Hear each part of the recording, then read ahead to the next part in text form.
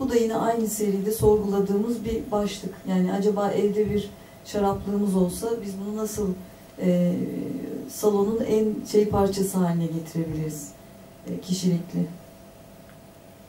Bunlar da yine e, çöp kutularından sıkılmışız. Çöp kutusu e, alternatifleri geliştirmeye çalışmışız. Burada malzemeden yola çıkarak, oynayarak hani bu malzeme bizi nereye kadar götürür diye e, yaptığımız bir çalışmaydı. Evet, e, biraz sıkıldınız. E, çünkü belki çok ürün odaklı olmuş olabilir ama e, şunu anlatmaya çalıştık ki hani ürünler e, yani tasarımda aslında branşlar birbirinden inanılmaz besleniyor. Yani bir iç mimar üründen beslenebilir ya da bir tasarımcı mekandan beslenebilir. Mimariye dokunmuyorum çok bizim şeyimizin dışında ama eminim e, öyle e, noktalar, öyle projeler vardır ki hakikaten sizi tetikleyen basit bir obje de olabilir. E, Oğuz'un başta söylediği bir şey vardı. Tasarım sektöründe bence algıların açık olması en önemli şey. Biz buna çok değer veriyoruz. Yani gözlem yeteneğinizi geliştirmek her daim yani restorana girdiğinizde, e, kendi banyonuza girdiğinizde değil mi sabah diş fırçalamaya başladığında e, Oğuz hep öyle der. Bu iş başlıyor. E, ve bu gözlem yeteneğinizle siz dağarcığınızı ne kadar doldurursanız önünüze beyaz kağıdı aldığınız zaman o kadar birbirini ta tamamlayan e, tasarımlar ortaya çıkmaya başlıyor. Ve kullanıcı da bunu hissediyor. Yani o, o duygusal bağı çabuk kuruyor. Eğer sizin altyapısı, hikayesi sağlamsa ürünün.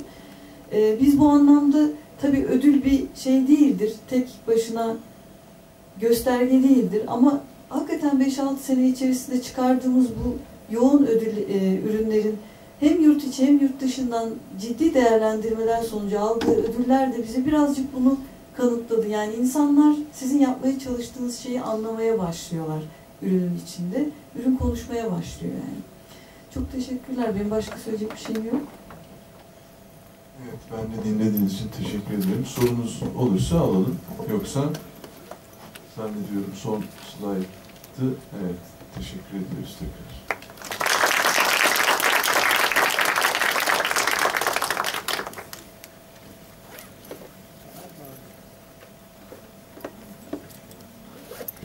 Buyurun lütfen. Tabii ki. Bu e, ürün tasarımcısı ve iç mimarlığın birlikteliğinin çok büyük bir avantajını yaşıyorsunuz anladığım kadarıyla. Bunu çok iyi anladık. E, ben bu fotoplastik takıldım. E, yurt dışında falan bayağı bir kullanılıyor e, dediğiniz bankalarda. Şimdi bir firma için ürün tasarlıyorsunuz, e, veriyorsunuz. Sonrasında başka yerlerde kullanıldığından bir patenti size mi ait oluyor yoksa o firmaya mı ait oluyor? Onu merak ediyorum. Bir geçiş yapıyor mu size daha sonra? Şimdi bunun bir sürü yolu var. Daha doğrusu birkaç yolu var. Satışı zaten firma kendi yapıyor. Yani başka yerlerde kullanılıyor derken firma o satışı yapıyor. O değil mi sorun? Şimdi firma satışı yapıyor ama hani sizde tekrar bir o farklı alanlarda kullanılıyor, satışı yapıyor, size bir geçişi oluyor mu yani? Şimdi biz- firma mı tamamen? Siz firmaya yapıyorsunuz, bitiyor iş. Onu merak ediyorum. Şimdi bunun birkaç yolu var dediğim gibi. Bir, tabii baştaki firmayla tasarımcının anlaşmalarına bağlı ama sizin söylediğiniz gibi de olabiliyor. Yani siz ürünü firmaya belli bir anlaşma ve belli bir bedel karşılığında bütün haklarıyla veriyorsunuz. Diyorsunuz ki bu ürün benim tasarımcısı benim. Fakat bundan sonraki tüm üretimi, tüm satışı, tüm maliyetleri ve tüm karlılığıyla da senin. Ama anlaşmalarımızda şöyle şeyler var. Mutlaka tasarımcı isimleri her türlü basında yani o ürünün altında mutlaka tasarımcı isimlerinin yazılması şartıyla diye maddeler vardır. Bir yolu budur. Başta siz aynı iç mimarda bir proje bedeli alır gibi başta bir ürün için bedel alıp ondan sonrasını firma kendi pazarlama yoluyla yurt dışına, yurt içine satıyor. Siz bunları takip ediyorsunuz. Ha şurada kullanılmış, burada kullanılmış, işte resimlerini alıyorsunuz falan filan. Bunun başka bir yolu da var. Ee, tasarımcının e, satıştan pay alması vesaire gibi başka bir yolu daha var. Onda da daha çok ilk başta para alınıyor ya da çok cüzi rakamlarla bir proje gelişiyor.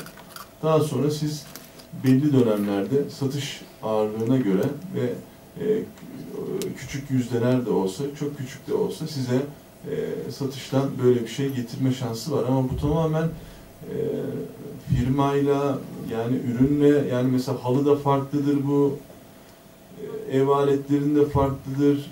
Çünkü bazı ürünler vardır çok az satılabileceğini firma biliyordur, tasarımcı da biliyordur. Bazı ürünler vardır çok adetli gideceği bellidir. Yani dolayısıyla sizin e, hatta üçüncü metot daha da vardır. Dolayısıyla bu biraz e, şey bir konu. E, aşama e, aşama aşama geçilmesi gereken konu ama siz sonuçta emeğinizin karşılığını alırsınız. Eğer onu diyorsanız, eğer doğru firmayla çalışırsanız, doğru derken dürüst, anlaşılabilir, birbirinize güvendiğiniz bir firmayla çalışıyorsanız siz mutlaka ya başta ya sonda ama bir şekilde bunun şeyini alırsınız. Rica ederim. Yargı doçent Doktor Mustafa Önge, Mimarlık Bölümü. Keyifli bir sunuş izledik. Ee, ellerinize, emeğinize sağlık öncelikle. Ee, benim e, merak ettiğim alan şu. Ee, üretim süreci. Siz tasarladınız, e, çizimleri hazırladınız. Tabii planlamayla başladınız tasarıma. E, analizlerle başladınız. Sonuçta bir ürüne doğru o yolculuk etmeye başladı. Fakat sizin için e, bu prototipleri kimler yapıyor? Kimler bunun ilk e, defa bir araya getirip bu tasarımdaki aksaklıkları e, belki varsa ki mutlaka vardır ortaya koyuyor. Malzeme seçimiyle ilgili kriterler, detay çözümüyle ilgili kriterler hep bunlar size mi dönüyor? Yoksa bununla ilgili alt birimleriniz var, bu şekilde mi çalışıyorsunuz? Yani bu tasarımın kağıt e, üzerindeki veya bilgisayar ekranındaki süreçten üretime kadar olan kısmına biraz üretimiyle ilişkili bilgiler verebilir misiniz? Mesela çünkü tasarımcı çok iyi bir detay tasarımcısı olmak zorunda. Aydınlatma elemanında aydınlatma e, armatürün ısı problemiyle, montaj problemleriyle, e, tasarımın e, uygulama esneklikleriyle bu tür e, problemleri burada sayamadığım pek çok şeyle başa çıkmak zorunda. Yanılıyor muyum? Hiç yanılmıyorsunuz. Bunlar hakkında da biraz bilgi verirseniz e, eminim daha keyifli e, olacaktır. Teşekkür ederim. sıkmamak için hiç koymadık o resimleri. Hele de böyle birlere, ikilere onları da gösterirsek belki Şimdi şöyle korkar kaçarlar diye. Şöyle bir problemimiz var. Bizim öğrencimiz kağıt üzerinde bir şeyler çizildiği zaman bunlar çok kolay bir şekilde gerçek ortama taşınabilecek zannediyor. Halbuki o eskiz bittikten sonra, belki uygulama çizimleri bittikten sonra bile Esas, pek çok, Tabii tabii. pek çok Tabii yani e, aşılması gereken merhale var değil mi? belki de şey göstermek lazımdı. Önce ilk çizilmiş e, e, eskizler nasıldı, bitmiş hali nasıl? Tabii arada çok değişimlere uğrayabiliyor. E, orada hani malzemeye ve üretime ne kadar hakimseniz çizdiğiniz şey o kadar daha istediğiniz gibi çıkıyor. O da tabii mutlaka deneyim yani malzeme ve üretim konusunda kesinlikle sabırlı olup bir deneyim süreci geçirmeyi yani her e, genç tasarımcının diyeyim ona bir vakit ayırması lazım. Bizim şansımız belki iç mimariyle birlikte başlayan hani malzemeyi özellikle mobilyada, aydınlatmada iyi tanıyoruz. Dolayısıyla vakit çabuk oluyor. Yani çok çabuk prototip çıkıyor. Mutlaka eksikleri oluyor. Üstüne oturuyoruz, kalkıyoruz. O sandalyelerin mesela o yan oturulmuş sandalyenin kaç kalıbı yapıldı İstanbul'da? Kaç kere girildi gelindi? Ya hala da şurası rahatsız dediğimiz yerleri olabiliyor. Yani bu bu süreçte kiminle çalıştığımız çok önemli. Eğer iyi bilgi birikimi iyi bir firmaysa e, tabii ki Nuruz, Erse böyle firmalar onlar da bilgi birikimlerinden üstüne koyuyorlar. Ama siz ne kadar gerçeğe yakın, ne kadar mantıklı yaklaşırsanız ürününüz de o kadar sizin istediğiniz gibi çıkıyor. Yoksa çizmek hakikaten çok kolay. Hele bilgisayarla çizmek çok daha kolay şimdi. Ama onu hayata geçirebil... Mühim olan onun hayata geçmesi. Ee, şöyle burada tabii çok ciddi kavgalar var. Birincisi e, ürünü kiminle çıkardığınızla ilgili. E, canım dediği gibi ürünü doğru bir üreticiyle çıkardıysanız işiniz nispeten kolay. Çünkü o ürünün, o fabrikanın bir üretim sorumlusu var. Üretim sorumlusuyla bir toplantı yapıyorsunuz. Siz diyorsunuz ki ben burayı işte 8 milim levha dön, e, saç düşündüm, işte e, lama düşündüm. O diyor ki 8 milim olmasını, yani sizin en azından muhatap olduğunuz birisi var ve ürün en azından ilk prototip bir şekilde çıkıyor. İkincide oturuyorsunuz, kalkıyorsunuz falan filan. Yani kurumsal firmalarla bu birazcık daha kolay. Ama eğer kurumsal bir firma değil karşınızdaki daha atölye ya da biraz büyük atölye diyelim öyle bir firmaysa o zaman dediğiniz bütün her şey bizim üstümüzde. Yani o zaman herkes söyle bakalım ne yapacağım? İşte şurayı biraz kıvırayım, kıvırayım mı, kıvırmayayım mı? Yani hiç şey alamıyorsunuz. Ee, e, kurumsal firmalarda bir gidiş dönüş alıyorsunuz karşılıklı ama şeylerde alamıyorsunuz. Bu tabii büyük sıkıntı yaratıyor. Bu zaman olarak da e, para olarak da çünkü prototiplerin yapılmasını da e, biz cebimizden buradaki birçok bir üründe biz kendimiz atölyelere para vererek prototip yaptırdık. Yani bunların bir sürüsü o televizyonda gördük, gördüğünüz ürünlerin tamamen şeyleri bizim deneysel hadi bir de şunu deneyelim, böyle bir şey deneyelim. Ya önemli değil paramız gitsin ama bir ürünümüz olsun falandan çıkan şeyler. Yani altyapısında çok sancı var eğer onu soruyorsanız. Ama ama bu bir şey gibi yani hani doğum bittikten sonra da işin keyfi başlıyor. Önemli olan o süreci sabredebilmek. Yani o hormon bozuklukları dönemini hepimiz de yaşıyoruz o dönemi 9 ay bizde daha da uzun. Eğer onu bir zapt edebilirsek bu birkaç sene sonra keyfe dönüşmeye başlıyor. İnsanlar sizi tanıyor, üreticiler sizi tanıyor. Şimdi bazen öyle e, keyifli noktalara geliyoruz ki bize şöyle teklifler de geliyor şimdi. Yani bir peçeteye çizin, biz gerisini detaylandırır, hallederiz. Yeter ki siz bize fikrimizi verin. Şimdi ama bu, bu şeye gelmek için de tabii 7-8 sene, 9 sene geçti. Ama bu, bu tek başına bir şey olacak bir konudur. Yani birkaç saat harcanacak, birkaç saat sunum yapılacak bir konudur. Belki bir gün öyle bir şey yaparız. Son bir şey daha var. Kusura bakmayın çok konuştum ama bunu mutlaka sormam gerekiyor.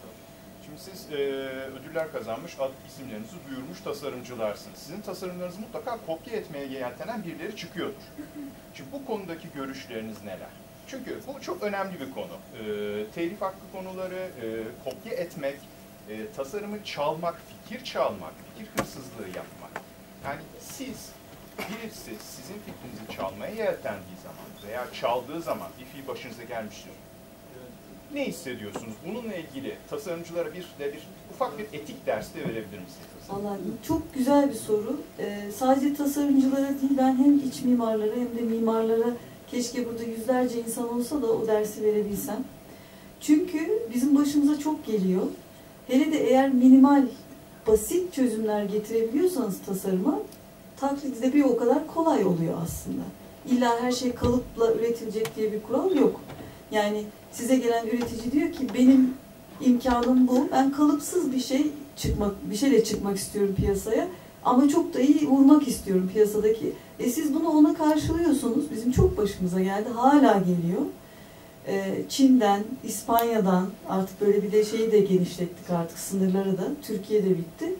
Taklitleri vesaireleri hepsini görüyoruz. Niye? Çünkü çok basit. Fikir ama. Bütün tabii arkasındaki fikir. O zaman çok bozuluyorsunuz tabii. Çünkü o fikri ortaya çıkarmak için siz deneyimlerinizi kullanıyorsunuz. Tecrübelerinizi kullanıyorsunuz. O beş dakikalık bir şey değil ki. Bir fikir yakalıyorsunuz. Ondan sonra yapımı beş dakikalık bir şey adam alıyor. Gayet güzel ucuza yapıyor. ihalelere giriyor. Şimdi ben burada niye iç mimarlar mimarlarda dedim. Bizim neredeyse bazı konularda en büyük sıkıntımız bizi taklit edenlerin maalesef ihaleleri yöneten iç mimarların, mimarların e, orijinal ürünü alıp bunu başka yapabilecek kişilere ya sen bunun aynısını yapamaz mısın yarı fiyatına deyip yaptırıp ihalelerde o ürünleri kullanmalarıdır. Ya ben mesela buna çok içerliyorum. Hadi üretici e, bir küçük atölye bilmez, bunun taklidini yapar.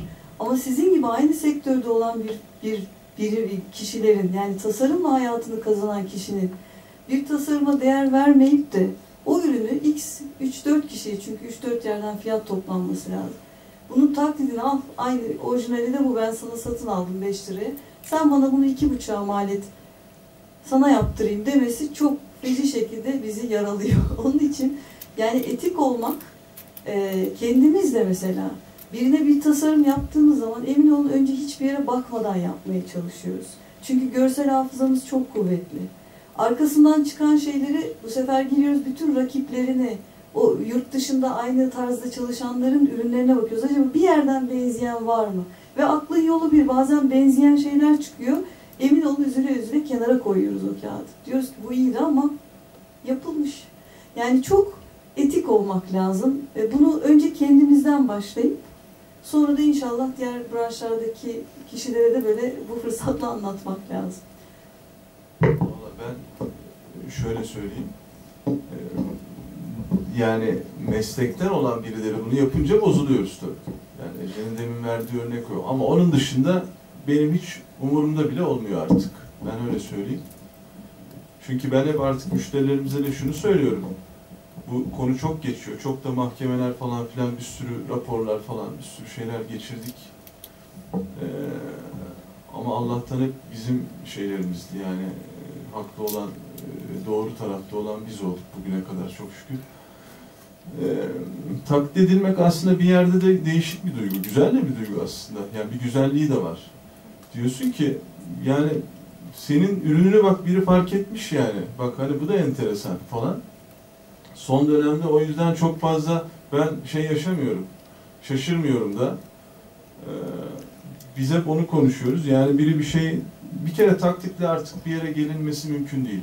Yani tasarımın değeri dünyada zaten anlaşılmıştı ama Türkiye'de de artık anlaşıldı. Şu anda tasarımcıların önü çok daha açık bence bizden.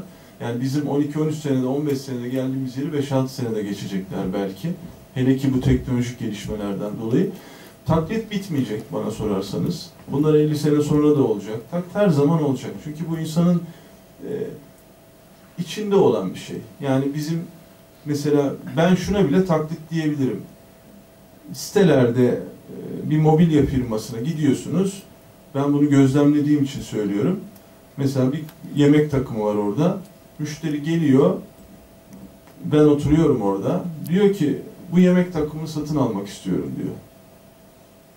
Şimdi ben şaşırıyorum. Neden o yemek takımını satın yani şeyiyle satın almak istiyor? bütün takım olarak yani bu halısıyla bilmem nesiyle gördüğü haliyle almak istiyor. Benim benim çok garibime gidiyordu başlarda. Yani ne kadar garip diyordum. Yani insanın kendi şeyi yok mu? Yani tamam yemek masasını beğendin ama halını da git başka bir yerden seç. Bilmem lambanı da lambasına kadar adam o şeyi almak istiyor. Bu da bir aslında bir kopya. Ama bu bilinç altında olan bir kopya. Yani insanların kolaya ulaşma gibi bir şeyleri var. Yani uğraşmak istemiyor. Gidecek lambacıya, halıcıya onu görecek, oradan pazarlığını yapacak, evine aynısını koyacak. Sonra da geri geliyor. Ya bu benim evime çok büyük geldi. Ben burada diyor bunu güzel görmüştüm. Evimde hiç yakışmadı diyor. Onu da düşünemiyor. Onu da satıcının üstüne şey yapıyor. Yani demek istediğim kopya bitmeyecek. Bu içten gelen bir şey. Etkilenme bitmeyecektir. Bizim yapmamız gereken hep önümüze bakmaktır. Bir şeyimiz yapıldıysa onun daha iyisini, daha iyisini, daha hızlı nasıl yapabiliriz ona bakmaktır. Ama şey incitiyor tabii. Teknik olarak yapan arkadaşlarımız var. Onlar incitiyor. Yani aynı ürünümüzü yapıp hakikaten kendi projelerinde e, hatta bize teklif edenler var. Yani sen bunu şu firma için çizmişsin ama yani sen onu atölyede yaptır bana ben senden alayım.